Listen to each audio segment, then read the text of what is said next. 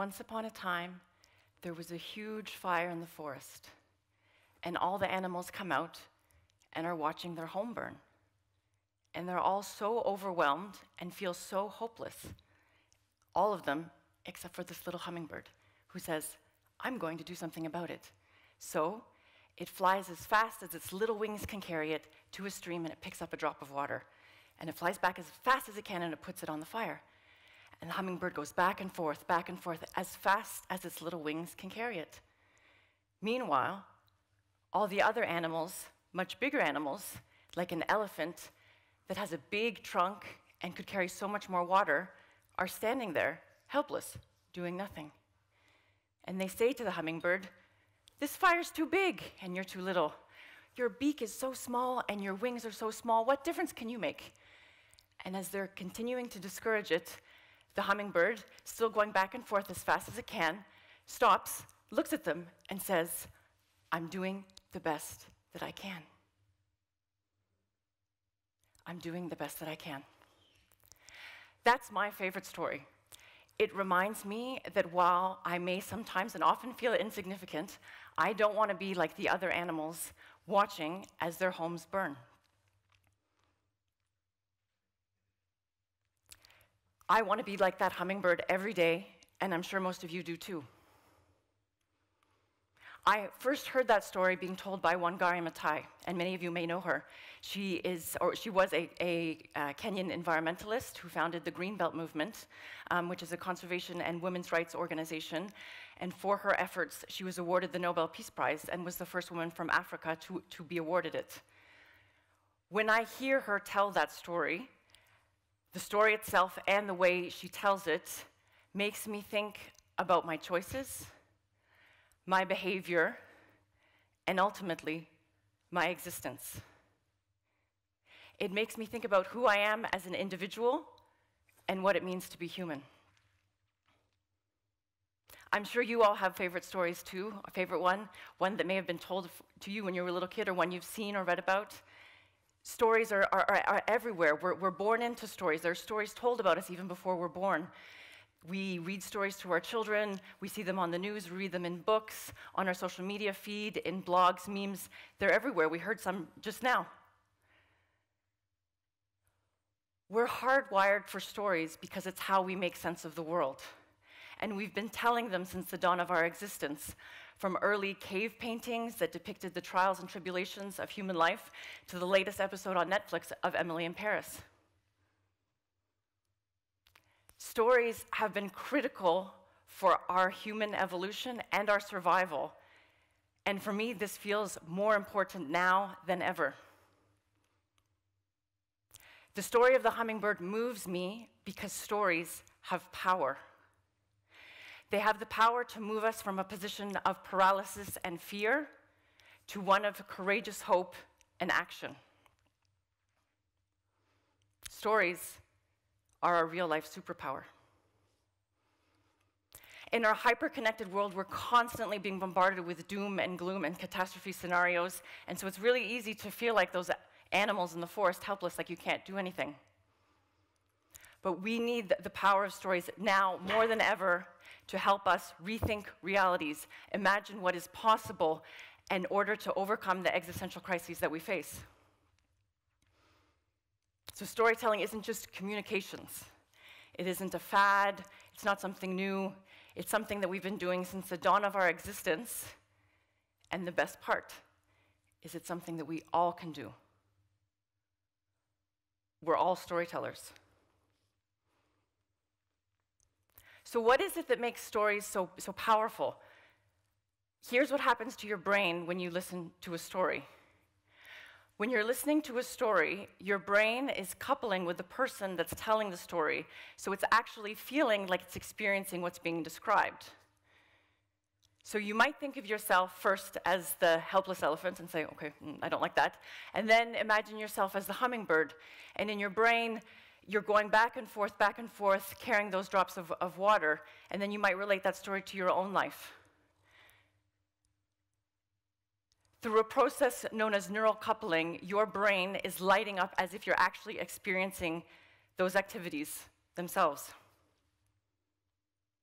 So, stories, in a way, are the original metaverse without technology because they enable us to experience things that we may never have been and to take us on journeys and places that we've never been to before.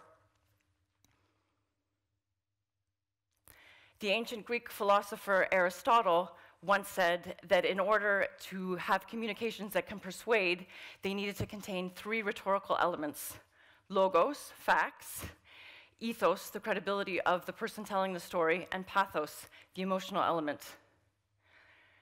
Brain science shows us that when we listen to facts, maybe two parts of our brain are lit up, so sometimes we forget facts, um, and that's one of the reasons why. But when we listen to a whole story, our whole entire brain lights up. So if we combine facts and stories together, it's not an either or, but it's an and, we can really have an impact. It's also really important when we're thinking about storytelling to think about how we're telling stories and how they're framed. And here I want to talk about hope. Hope is the ability to imagine a different reality and a belief that it's possible. Hope is a very powerful emotion because the process of imagining a different reality can help us to take steps to make that happen. Fear has the opposite effect. When we hear a story that makes us feel fearful, we shut down. Our brains are hardwired for our own safety and security. An ac academic study a few years ago found that the more negative people felt after consuming a news story, the less likely they were to take action to make the world a better place. So we really need to think about the role of hope and fear and what that means when we're talking about some of the key challenges that we face as humanity today. So, if storytelling is so powerful, what does it mean to tell stories for good? What does, what does that look like? I see this a lot in the work that I do at the Peace Talks, which is a platform that showcases inspirational stories of people who are making a contribution to peace. It's really easy with today's headlines to just see war, to see the or to feel that peace is not possible or it's a faraway dream. But by showcasing real people who are making a real difference in their communities, we're trying to show that a different reality is possible. We featured many inspirational individuals, and one of them I want to tell you about is Jasminko. Jasminko grew up in his hometown of Sarajevo during the war, so he, he experienced his childhood in, during war. And after the war, he, he was curious about how other children had experienced war. So he launched a crowdsourcing project. And through this crowdsourcing project, he asked people to relay their stories and experiences of what it was like to grow up in war. And he got a lot of entries, so many, so in fact, that he created a book. And actually, then turned this book into the world's only museum that's dedicated to the experience of childhood in war.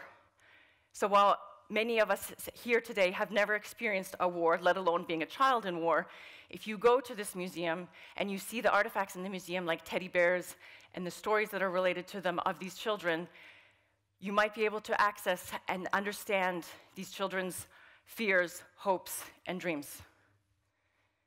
Jasminko understood the power of stories, and so can we. I see this also a lot in the work that I do with the New Humanitarian. It's a nonprofit newsroom, and we're reporting on humanitarian crises and we're constantly thinking about how we're telling the stories and how to create an emotional connection with the people that we're telling stories about, because we're telling stories and, and producing journalism about crises, hunger, disaster, uh, war. And we're thinking also about how the people in those places want their stories to be told. If I tell you that 270 million people are at risk of acute food shortages, or that 216 million people are going to be internally displaced because of the impacts of climate change, you might say, whoa, that's, that's a lot, that's terrible. But then a few minutes later, you haven't made a connection. But if you read about a story about, for example, we a, ran a story about the collapse of Lebanon, which also is very hard to grasp as an outsider. But if you read the story told through the WhatsApp messages of five people, that might give you something more to think about. People in crises are often anonymous. They're, they're refugees, they're victims, they're survivors, there's people in need. When we think about the crises that we face, we often give labels to people who are at risk, underprivileged. And using this language can have a negative effect in terms of stigmatizing uh, people who are actually at most at, at risk. We have a habit of seeing and defining people by deficits, by looking at the problem, or seeing it, them as uh, the problem. Author Chimamanda Adichie warns us of the danger of a single story. The more we show people as one thing, the more that they become that. The opposite of this, this, is, this, this notion is called deficit framing, is something that author Trabian Shorters pioneered that's called asset framing. And it's seeing the dream before the problem. It's seeing the hummingbird doing the best that it can instead of seeing a tiny animal that probably can't make much of a difference by itself. But it has courageous hope. It's doing its best.